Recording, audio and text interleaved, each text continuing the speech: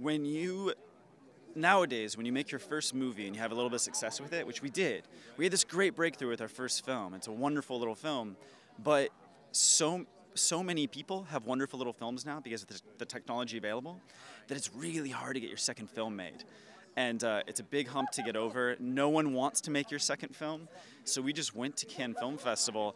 Couldn't afford to stay in Cannes, stayed outside of town, rode bikes around in the rain, going to meetings, pitching our movie with a little demo thing we had made, and uh, eventually some some people came on board to make it with us, but.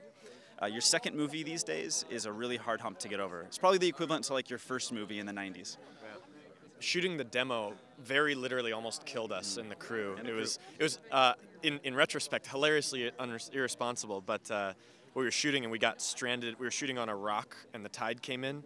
We'd planned for it, but the tide came in hard, like with bad weather, and we got stranded on a rock. Sun went down, there were no lights, and uh, we actually, instead of walking the, you know, 100 meters out, it then got blocked by this much raging water, and we had to carry all of the gear like up a up a uh, fire hill for uh, two miles uh, instead. And it, it, very literally, we if the sun had gone down and um, and we'd still been there, there were no lights, we had no cell phones, we would have probably just been stuck there.